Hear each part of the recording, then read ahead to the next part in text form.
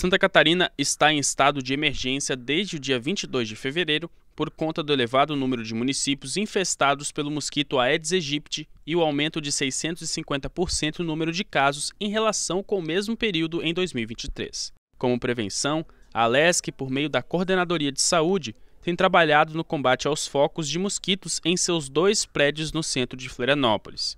Entre as ações de combate estão a limpeza de setores como jardins e setores com arborização, a distribuição de folhetos e repelentes para servidores, a utilização de cloro em ralos e o atendimento prioritário para casos suspeitos da doença. Nesse mês, principalmente, está intensificando os cuidados né, uh, junto aos servidores contra o mosquito, a Aedes aegypti, né?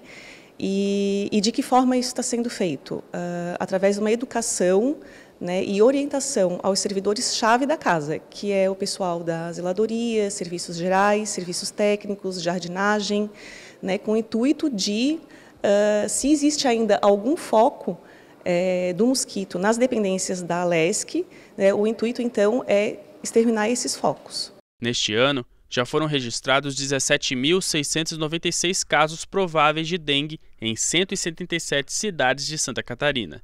Também foram identificados 12.885 focos do Aedes aegypti em 215 dos 295 municípios. Marcelo Coutro, médico e diretor técnico do ambulatório do Parlamento, explica os principais sintomas e a importância da hidratação na recuperação dos pacientes. A pessoa se apresenta com febre, a pessoa se apresenta com dor de cabeça, com náusea, com vômito, com diarreia, então ela vai é, se desidratando. Por isso que a grande questão do tratamento da dengue é o uso de medicação para abaixar a febre e a hidratação. A grande importância do tratamento da dengue é hidratar. E hidratar de que forma?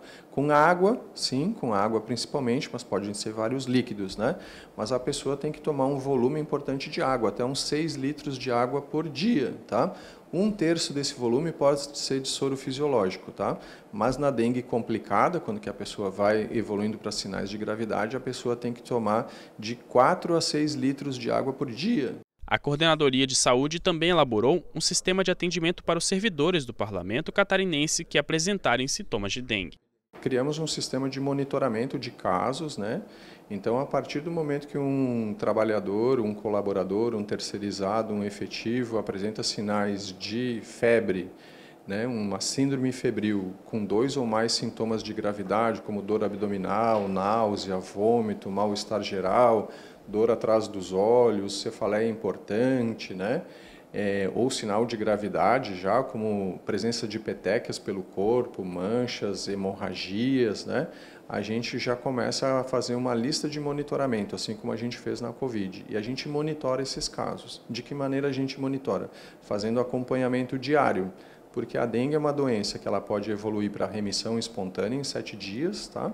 ou ela pode evoluir para gravidade. A atuação da LESC também segue no Legislativo. O deputado Neudi Sareta, do PT, presidente da Comissão de Saúde, está preocupado com o cenário da doença no Estado e afirmou que irá organizar, com auxílio da Secretaria de Estado da Saúde e com a Diretoria de Vigilância Epidemiológica, ações de combate ao mosquito. Essa audiência pública ela é sempre importante porque aqui são colocados os números, né, sempre do último quadrimestre em relação aos investimentos da área da saúde. E a preocupação nossa hoje também, mais do que a análise dos números, é a questão é, do momento atual da saúde pública, essa preocupação com a dengue, a preocupação com equipar melhor os hospitais, é, são dados importantes que demonstram a, que nós temos eh, prioridades na área da saúde que devem ser levadas de forma conjunta, tanto pelo, pelo Estado quanto pelo Ministério da Saúde.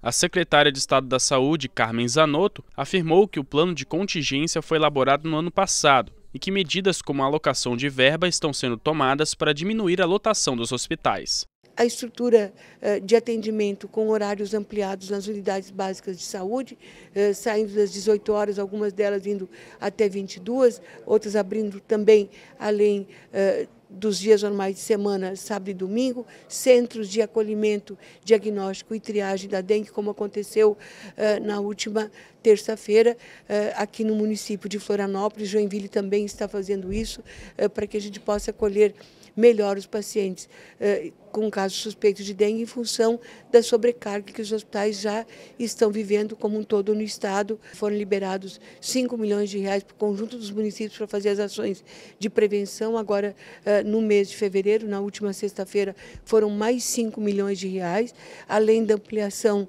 eh, dos serviços de laboratório do nosso LACEN, além de uma ação que está ultrapassando a Secretaria de Estado da Saúde com a Secretaria de Proteção e Defesa Civil, que agrega o GRAC, e dentro desse conjunto todos os atores do Estado de Santa Catarina, quer sejam da educação, da saúde, da infraestrutura, da assistência social uh, e os, todos os órgãos de governo, e isso nós estamos replicando através da Defesa Civil no conjunto dos municípios.